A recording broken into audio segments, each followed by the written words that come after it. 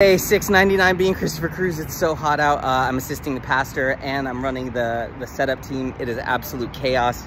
Uh, and now I have to go find all this stuff to set up for his props. And he's gonna be here in 30 minutes. And I gotta have this ready and that ready.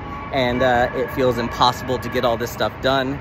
Um, and I still need change. I'm in like setup clothes.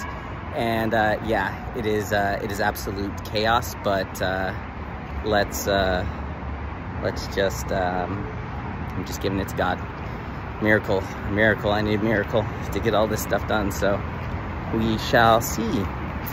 Um yeah. So i have to get all this stuff set up and ready plus there's like a list of everything that i have to be taking care of and being responsible for for the pastor.